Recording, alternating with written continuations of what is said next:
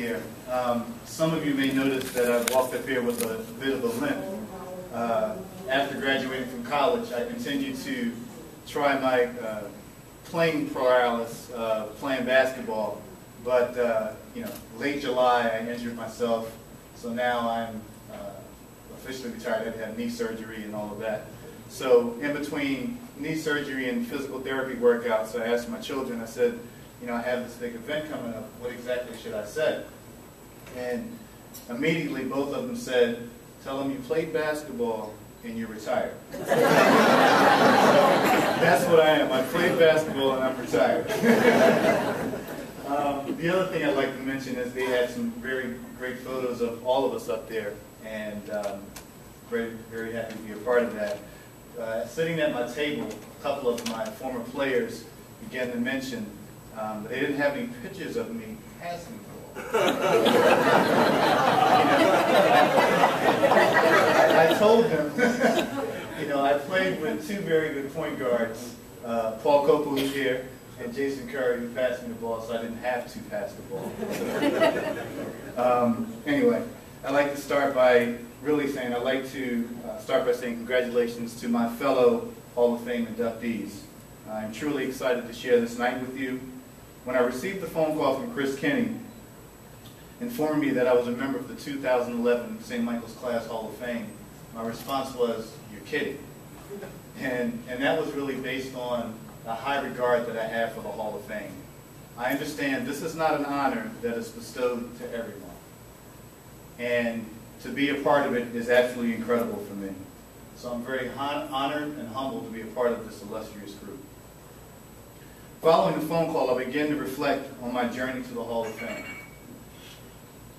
As some of you may be aware, I'm an only child who grew up in a single-parent household. However, my mother was diligent in her efforts to ensure that I had every opportunity to succeed. She made sure I went to Catholic school and paid for me to go to Catholic school. One point I'd like to make is that she earned her highest grossing wage was $19,000, and that was an achievement until I was in college. So needless to say, during my childhood years, uh, budget was very limited, but she sure I went to school. When I grew up, we lived in a four-room apartment. There was a kitchen, a bedroom, a bathroom, and a living room. My mother gave me the bedroom. She slept in the living room on the bed that pulled out the couch. Um, she made sure I had the best. At age 12, I said to her, I'd like to attend college. Her response to me was, that's great, but I hope I can afford it. My response back to her was, don't worry about it, I'll get a college basketball scholarship. Please keep in mind, I was three months removed from starting to play basketball, which included my first on-court experience of shooting the ball in the opponent's basket.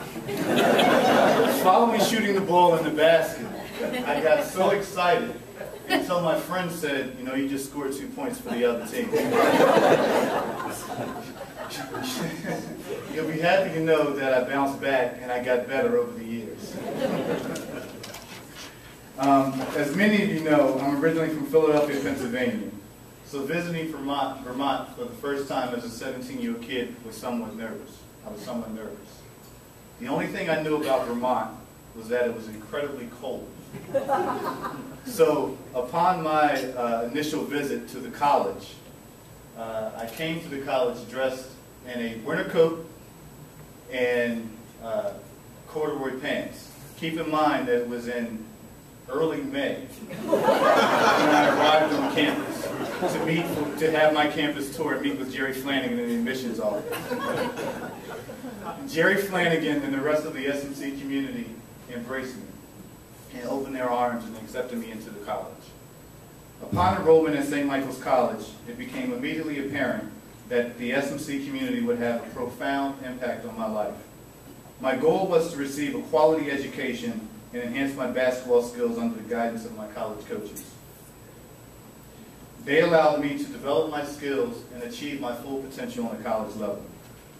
However, as I reflected on my college experience, I was fortunate enough to realize that the aforementioned goal, I achieved the aforementioned goals and so much more. The college professors provided me with an education foundation to attain my professional goals. Furthermore, the coaches shared their knowledge that assisted me to develop my basketball skills to compete on the college level and reach my potential. Moreover, it was my personal interactions with the SMC community, the extended family of friends, teammates, faculty, and advisors that provided me with an unequivocal positive and enriching experience. My SMC connection has provided me with many of my best friends, but for some of the younger generations that are out here now in the text world, my BFFs. when I look around the room, I see former teammates, um, I see faculty advisors who've guided me down the right path. Furthermore, the SMC connection actually introduced me to my current wife, Nakia Miller. Nakia Miller Blakes. That's the hyphen. Daryl Watkins, a former basketball player, introduced us. My wife is my BFF, my lovely wife, a wonderful mother to our children, Jalen and Michaela. I also would like to acknowledge my mother-in-law, my two sister-in-laws, my brother-in-law, my nephew Brandon. I also like to say hello to our friends from Jersey that arrived, Damon and Tracy, as well as their sons Adam and Anthony. And I also like to say thank you to my cousins who came from Washington, D.C., and my aunt who came from D.C., and my cousin who flew in from Texas. So I really appreciate you.